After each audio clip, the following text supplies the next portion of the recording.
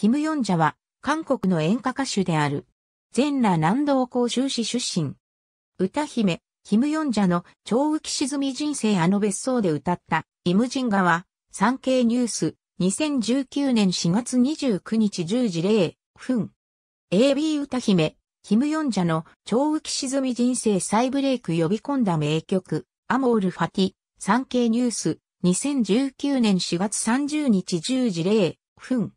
読売新聞社文化部、この歌この歌手、運命のドラマ120、下現代教養文庫、1997年、289ページ。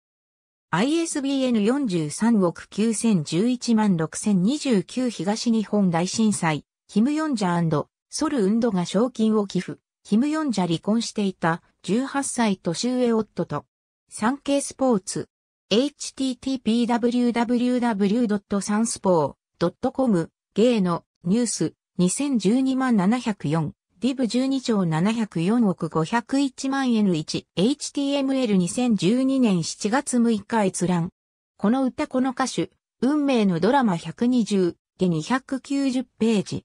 元祖韓流スター、キム・ヨンジャ、韓国に帰国、日本で夫と離婚、無一文で自立第二の人生に、意欲テビリポート2014年8月14日。